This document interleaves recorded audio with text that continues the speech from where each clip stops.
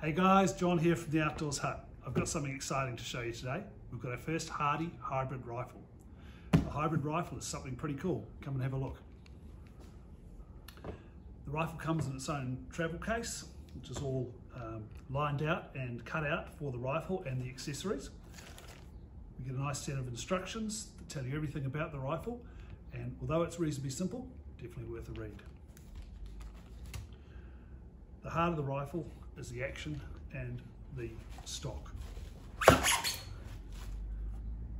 This lightweight assembly is made of carbon fibre and the receiver is made of aluminium. Uh, you think aluminium receiver, that can't be strong enough, but don't worry, it is, and we'll show you why. The whole assembly uh, is based around interchangeable barrels. Now, looking at the rifle, um, you can see it's got a nice um, carbon fibre uh, weave to it, but it's also got a green and grey uh, camo effect finish on it, um, which I think is pretty effective. Um, if you look on the side of the rifle here, you can see three holes. These three holes are the heart of the system. They allow you to tighten the receiver up on the barrel so that the barrel is easily interchangeable. With the rifle comes a torque wrench preset for um, this rifle and um, allows you to remove and set the uh, tension on the um, barrel and receiver so that you get a perfect um, return to zero and a perfect um, headspace every time. So let's see how it works. So here's our barrel. Um, this one here is in 6.5 PRC and it's a Hardy match barrel with a carbon fiber wrap. So what we've essentially got here is a heavy barrel, but it's um, sort of uh, got the same weight as a standard hunting rifle barrel, but we've got a lot more rigidity, and with rigidity, we get more accuracy. You can see it's threaded. Um, in the kit comes a thread cap if you don't want to run a suppressor. Um, but we've chosen to get it supplied with a Hardy covert suppressor, um, which gives a really nice reduction in uh, noise pressure or sound pressure and um, isn't too big and bulky. Okay, so the barrel itself is very clever.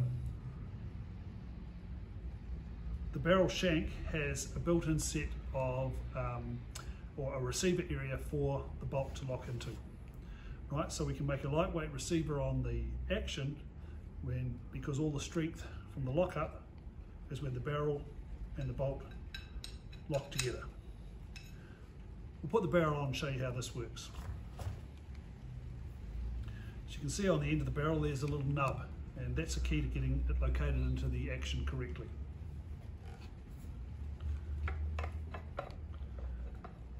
We slide the barrel into the receiver and the first thing we look for is caliber marking on the side. We should see that just above the line of the stock. Then with a bit of twisting, it clicks in. And when we twist it, it can't go left or right. That means the locking tab is located. The next thing we do is we put our bolt in and close the action. From there, we can use our supplied torque wrench to tighten things up. We turn this until we get the pressure and then one click, two clicks on the center one first. Then we move to the front screw, one click, two clicks. Back screw, one click, two clicks. Hold open, safe rifle of course, and we're good to go. We can fit our suppressor, a muzzle brake, whatever we want to do, and we're good to hunt. The great part about this, obviously, is if you want to change calibers, it's really simple. We can choose to go from something like this 6.5 PRC down to maybe a more traditional caliber like uh, 308. And all we need to do is change the barrel out and change the front of the bolt head. So the bolt head, as you can see here, has five locking lugs and um, it's removed by this pin here. We have a takedown tool here that we use to remove the back of the uh, the shroud off the bolt, which allows us to take our firing pin assembly out, drop this big pin out here, and change our bolt head.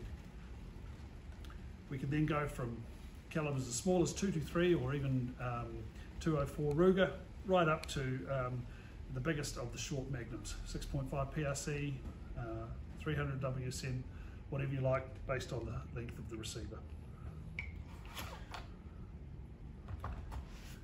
The Hardy uses the proven Accuracy International style magazine. And I say proven because this style of magazine has been used by the British and American armies as well as many other armies around the world.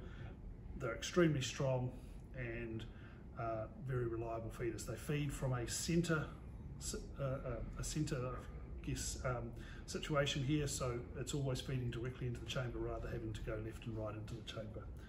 Um, the magazine sits in the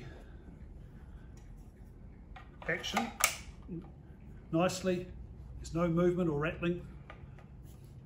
And just with a push of the release, out it pops.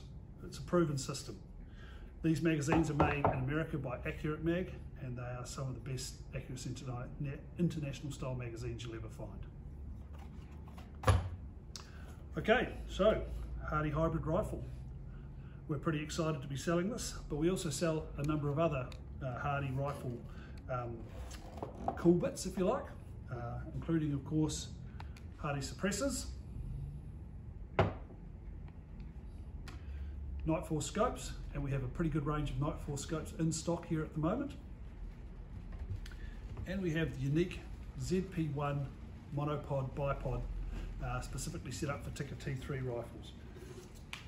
This bipod, this replaces the buttstock on your normal uh, T3 and with a push of a button you have an adjustable um, rest for the back of your rifle. Great if you're trying to get um, stable in a very difficult situation.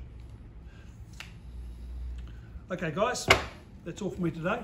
If you want to see the Hardy Hybrid Rifle or any other um, uh, parts we've mentioned today, come on in. We're, we're open uh, six days a week, uh, Saturday mornings only. So come in, have a look. Thanks very much.